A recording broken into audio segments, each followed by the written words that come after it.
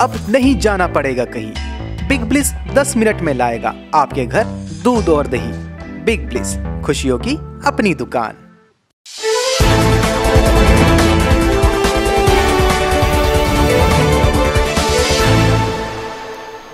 ये सनु जी बात करें अगर सोयाबीन की तो यूएस सोयाबीन देख रहे हैं कि उसमें थोड़ी नरमी आई है। जो यूएस सोयाबीन 1700 डॉलर के ऊपर थी वो 1660 डॉलर पर अब ट्रेड करती नज़र आ रही है। आपको क्या लगता है? ये जो विदेशी बाजारों में तेल तिलन में गिरावट बनी है उसके कारण क्या है? और अब आगे तेल तिलन का बाज़ार भारत में कैसा रह सकता है?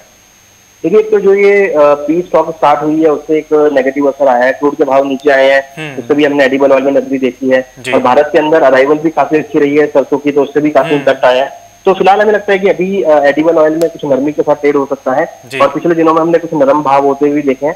हमें लगता है कि बेस मेटल में और साथ एग्री इंटरनेशनल कमोडिटी में और एडिबल ऑयल्स में जो कि सभी इंडस्ट्रियल कमोडिटीज हैं सबके अंदर हम थोड़ी सी नरमी के साथ ट्रेड होते हुए देखेंगे क्योंकि डिमांड जो। है वो यहाँ पे थोड़ा सा कम होती हुई दिख रही है। तो हम्म। चाहे वो एग्री हो चाहे नॉन एग्री हो अगर इंडस्ट्रियल कमोडिटी है तो उसका असर जो है डिमांड की वजह से भाव नरम होते हुए दिखाई देंगे।